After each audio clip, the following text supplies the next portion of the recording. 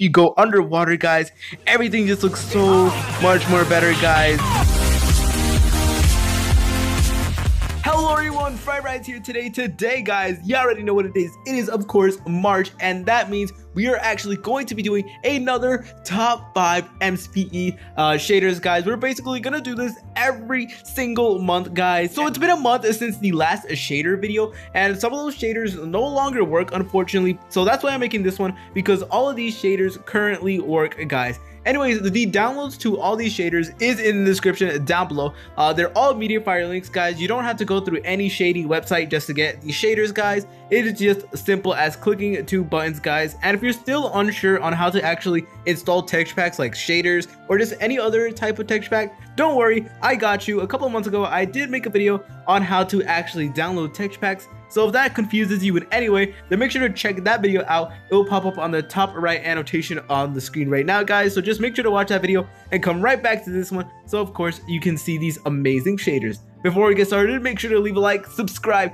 hit that notification bell, and make sure to follow my Instagram and my Twitter for more updates on my life, Terminated channel, future videos, and overall, just have a way to contact me, guys. Anyways, without further ado, let's head on to the number 5 spot. Okay guys, so we are starting off a very strong with the KMPE uh, shader guys. Now this only takes up about 1.5 megabytes worth of storage, so it really won't take you that much guys. And this one actually is pretty light compared to some of the other shaders guys. As you can tell, uh, most of the things are still relatively the same uh, compared to the vanilla version of Minecraft. Obviously, everything is way more brighter, especially the sand, and the uh, shadows are more defined and darker guys. And believe it or not, our own character, our Minecraft character actually has a shadow uh, literally right there, which is pretty dope, not gonna lie. And it even moves with like the, uh, like when you run, the actual shadow like moves its legs as well, which is pretty dope. And of course, we cannot forget the amazing water, guys. Possibly one of my favorite features in of like the whole shaders in general is the actual water, guys. The water just looks super realistic. Let's just uh, get a closer view of the water, guys. But the water looks absolutely beautiful in my opinion.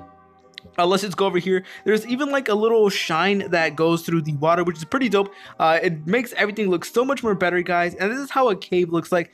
As you can tell, the lava actually emits like this really beautiful glow to it and it even like flashes so that is really dope not gonna lie. This will definitely make your caving adventures far more better and it looks super realistic too because obviously lava glows in real life. So unfortunately guys they did not actually change the sky in the shader so it's still the regular uh, vanilla minecraft sky so that is quite unfortunate but regardless this shader is still pretty dope and definitely is a pretty good for the fifth spot anyways guys that is pretty much it for the number five spot, let's head on to the number four spot. On the number four spot, we have the bicubic shader, guys. Now, uh, this is actually the ultra version, and it takes up literally less than a megabyte. It takes up 0.08 megabytes, guys. Now, my game is actually pretty laggy, guys. So if any of these shaders actually do lag your game, a simple solution to this is actually turning down your render distance. As you can tell, I have it to the maximum 18 chunks, so we're just gonna chop it down to 8 chunks just to reduce some lag, guys, because as you can tell, this is super laggy, and obviously right off the bat, you guys will actually tell that this shader is like super bright. They really do make everything just like way more brighter, especially like the stand and all that. So uh, it's really up to your personal preferences whether you like it or not. But personally, I think it's pretty dope, not gonna lie. And as you can tell, everything just look way more brighter, especially the uh, grass guys. And of course, these shadows are far more defined and darker. So that is absolutely dope in my opinion. And they actually did a change of the sky. As you can tell, uh, they have a really realistic uh, sky, as you can tell, which is pretty dope, not gonna lie. I am a huge fan of it, guys. Now, I do apologize if I am lagging, guys. Obviously, I do not have the best phone in the world, so I do apologize if uh, the video is uh, getting a bit laggy. Anyways, guys, here's the water, guys. It's pretty dope, and possibly, like, the best part of this shaders is actually if you go underwater, guys, everything just looks so much more better, guys. Oh my god, I'm not even kidding. This is a legit MCPE, and we get this a beautiful underwater shader, guys. It just makes the underwater look far more beautiful, and I absolutely love that. You know, I really do love uh, the attention to detail, guys, and even the water looks realistic. It has like that shine to it, which is pretty dope and you can even see through it guys. Like we can see those fishies. You tell. The sunset is so beautiful and the sky just looks so realistic and i absolutely uh, love it. Like i said guys i am very sorry that i'm actually kind of lagging right now. Uh, like i said my phone isn't the best And of course, this shader is uh, can be heavy at times, guys. So let's actually go back to the ravine and see how like lava and how light actually uh, is in this uh, shader. So as you can tell, uh, there is way, way, way less light in this uh, ravine than the last shaders, guys. And as you can tell, the lava is uh, super bright but obviously uh, it does not have the same glow as uh, the last shaders. But of course it does have a glow which is pretty dope not gonna lie. And we're just gonna place it down.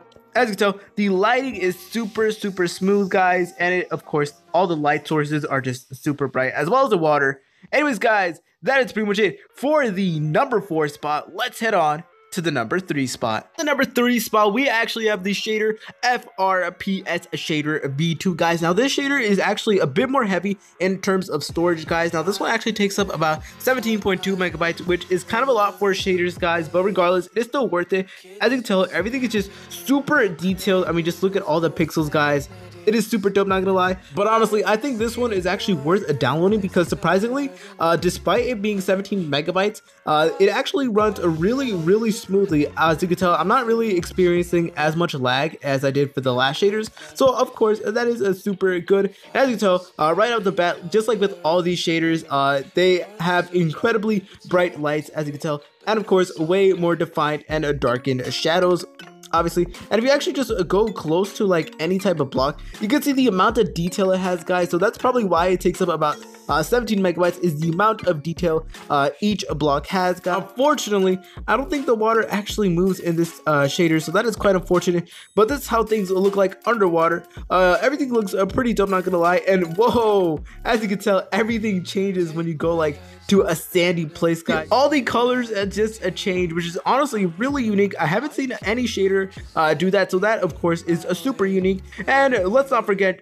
to mention the amazing uh, sky we have. Of course, we have the realistic clouds, and of course, we have the bright, realistic sun over there. Now, guys, if we actually set it to uh, sunset, we will actually see just how beautiful this shaders uh, truly is. There you go, guys. That is uh, the sunset right over there.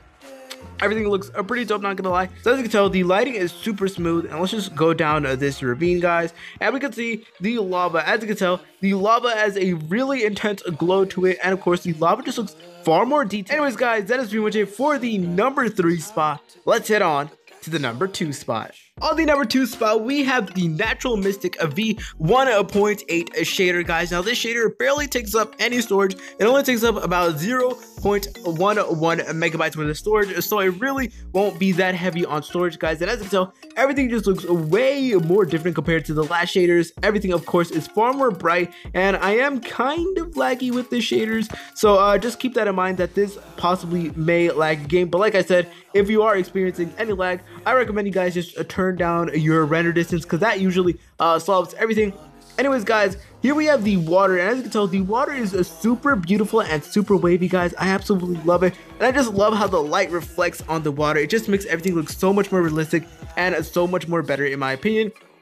So guys, this is how the underwater looks like. As you can tell, the underwater looks far more different, not gonna lie. Everything just has like this a blue tint to it, if that makes any sense. Like everything is just way more blue down here, which is pretty dope, not gonna lie. Incredibly bright lights and of course, super dark shadows like we see over there. And let's just approach this lava right over here. As you can tell, the glow isn't as strong as some of the other shaders, but you can definitely tell that there is a flashing glow to this lava, which is pretty dope, not gonna lie like it gets bright and then it gets gets less brighter at one moment so that is pretty dope not gonna lie. I haven't really seen that many shaders actually do that so that is a pretty dope i'm not gonna lie.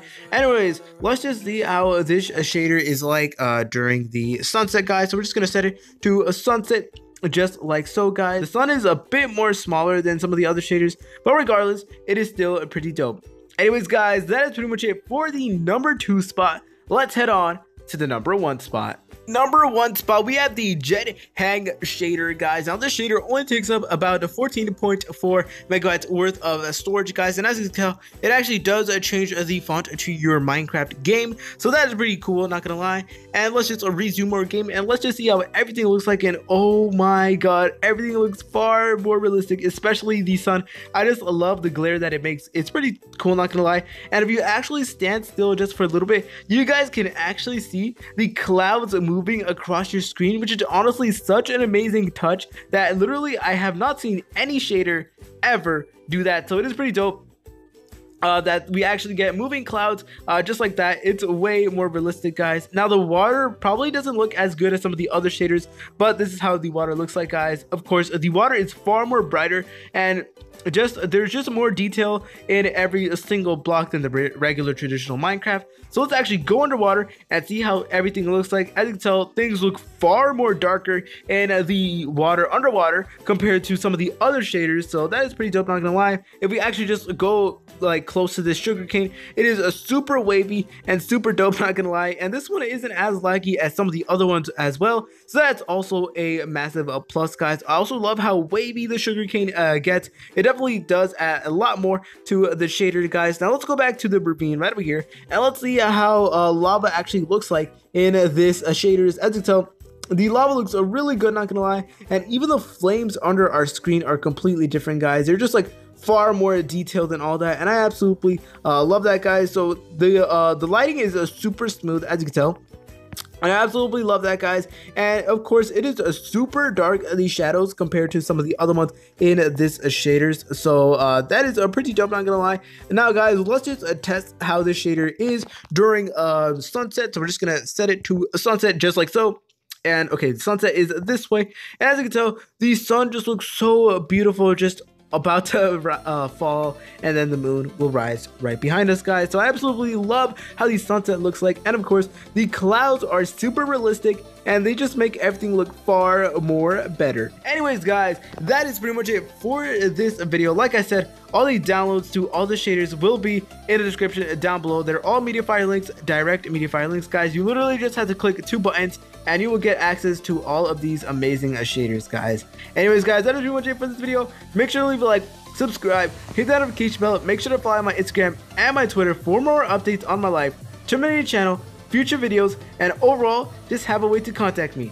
Anyways guys that is pretty much it for this video. Please like comment and subscribe. See you later french fries